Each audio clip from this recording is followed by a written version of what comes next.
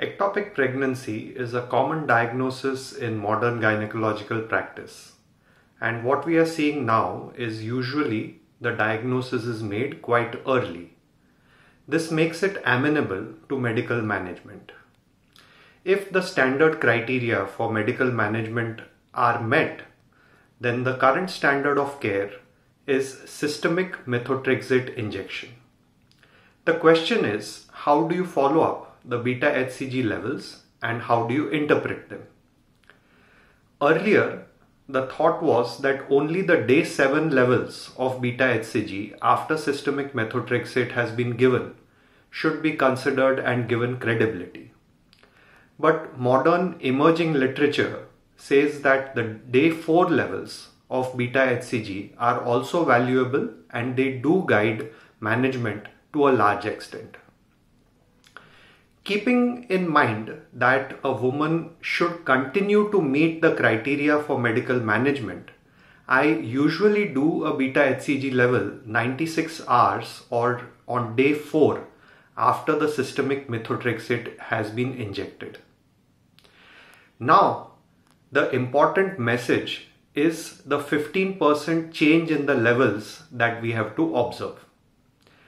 If a woman has a 15% decrease in the levels, say her level was 3500 and now it is 3000, that means the medical treatment is working well and she will have a 90% chance that no surgical intervention will be needed. So she's going to be through with her medical treatment for the ectopic pregnancy. You just have to continue monitoring the levels, that's all. If there is a 15% rise, so for example from 3500 she goes to 3900, 4000, that means that the medical treatment may not be working so well, in which case there is a 50% or more chance that she will need a surgical intervention. Usually this might be in an emergency situation. So this is a point of time where we need to reconsider where we are going. But what about the gray area in between? There's not a 15% rise, neither is there a 15% drop. So for example, methotrexate was given at a level of 3500, but on day 4, the level is 3700 or 3200, 3300. How do you approach this kind of a situation?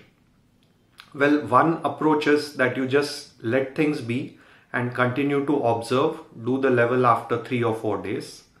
But I think there is a merit in repeating the dose of methotrexate at this stage in this gray area kind of situation.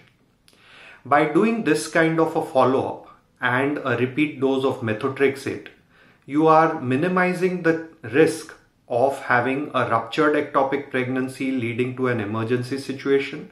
At the same time, you're also reducing the chances of unnecessary surgical intervention. So the current thought is a day 4 beta HCG level which should be followed up and then a decision whether to keep going with the medical therapy or a surgical intervention. Thanks for watching the video.